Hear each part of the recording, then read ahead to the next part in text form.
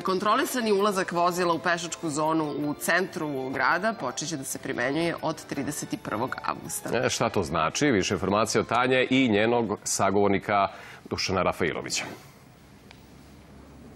Tako je, to jeste naše pitanje za našeg sagovornika, kako ste i najavili, Dušana Rafailovića, gradskog sekretara za saobraćaj. Dobro jutro ili dobar dan već sada vama. imamo ovde mapu. Hajde da krenemo, da kažemo ko će moći da prolazi.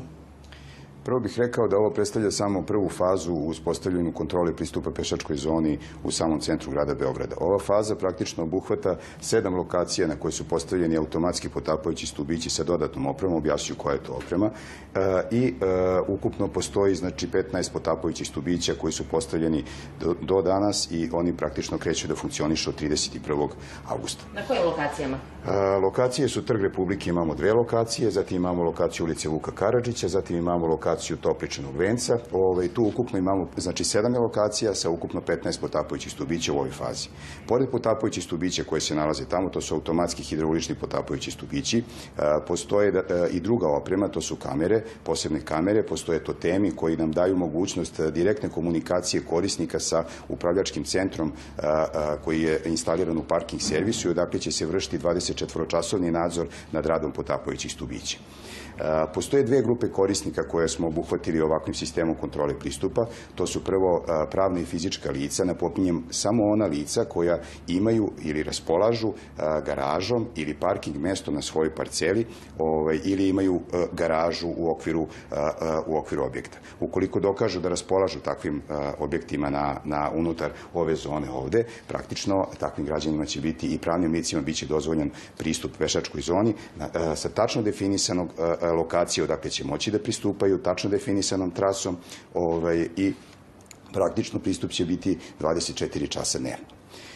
Druga grupa korisnika praktično predstavljaju nam sve ona komunalna preduzeća koje imaju potrebu za redovnim i hitnim održavanjem infrastrukture u posmatrenoj zoni. Takođe tu su hitne službe tipa hitna pomoć, vatrogasci, policije i tako dalje. Oni će imati 24-časovni pristup, mogućnost pristupa ovoj zoni kontrolisanog pristupa. Takođe pogrebne usluge će imati 24-časovni 24 pristup ovoj, ovoj zoni.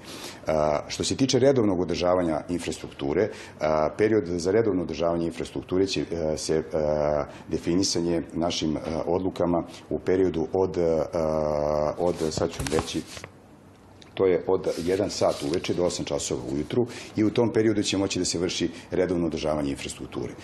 Ako imamo hitnu intervenciju, došlo do pucanja neke cevi, e, vodovodni, kanalizacioni i tako dalje, imamo problema sa strujom, 24 časovna će biti pristup za potrebe hitnih intervencija.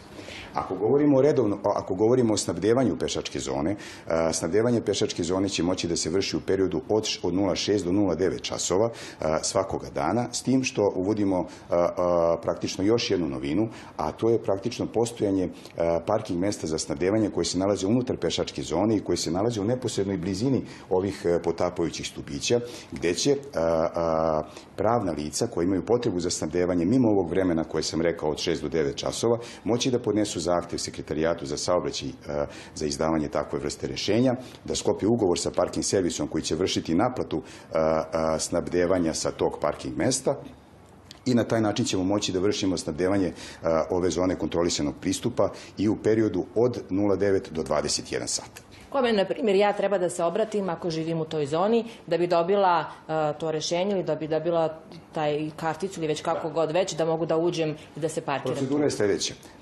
obratite se sekretarijatu za saobraćaj, možete da, se, da pogledate to na sajtu sekretarijata, to je bgsaobraćaj.rs ili da pozovete na broj telefona 330-9459, sekretarijat za saobraćaj, dobit ćete sve potrebne informacije. Neophodno je da nam dostavite fotokopiju saobraćajne dozvole, da da nam dostavite dokaz da vi u ovoj, u ovoj zoni raspolažete parking mesto mestom ili garažnim mestom i time ste ispunili uslove da dobijete rešenje sekretarijata za saobraćaj. Sa dobijenim rešenjem sekretarijata za saobraćaj odlazite u parking servis gde dobijate Ovo rešenje sekretarijata za saobraćaj može biti dostavljeno na kućnu adresu ukoliko to stranka zahteva.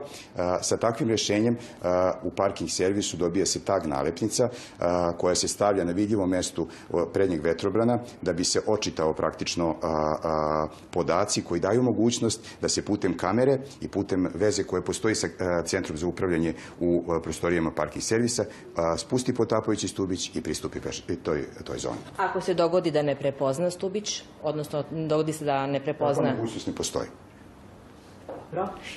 Da li imamo još nekih informacija u vezi sa tim što je važno što građani treba da znaju od 31. avgusta kada to sve krene da funkcioniše? Molim građane da se obrate što pre sekretarijatu za saobraćaj i parking servisu da bi im izdali rešenje i tag nalepnice da bi mogli da ostvare pravo pristupa svojim garažama i parking mestima. Hvala vam na razgovoru i na ovim informacijama. Evo toliko za ovo javljanje. Studio. Zahvaljujemo Tanja i tebi tvom sagovorniku.